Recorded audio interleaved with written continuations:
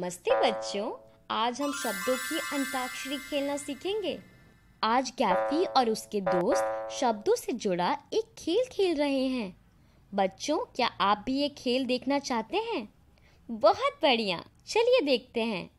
दोस्तों, आज मैंने शब्दों से जुड़ा एक नया खेल देखा है। चलो, वह खेल खेलते हैं।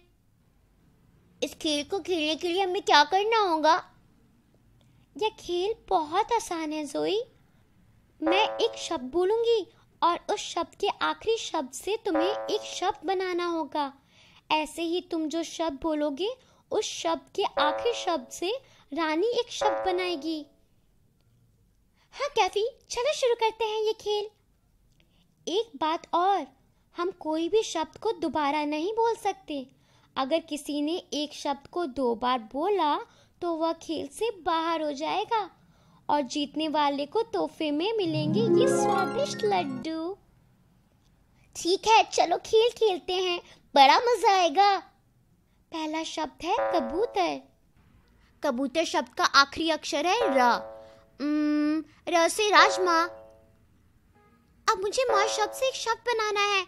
माँ से कौन सा शब्द बनेगा? बच्चों, क्या आप रानी की मदद माँ अक्षर से शब्द बनाने में कर सकते हैं। मम्मी बिल्कुल सही। माँ से मम्मी। क्या आप ये शब्द अपनी कॉपी में लिख सकते हैं? बहुत बढ़िया। अरे ये तो फिर से माँ आ गया। मुझे माँ अक्षर से शब्द बनाना होगा। माँ से होती है मिठाई। बिल्कुल सही कैफी अब मुझे ई से एक शब्द बताना है।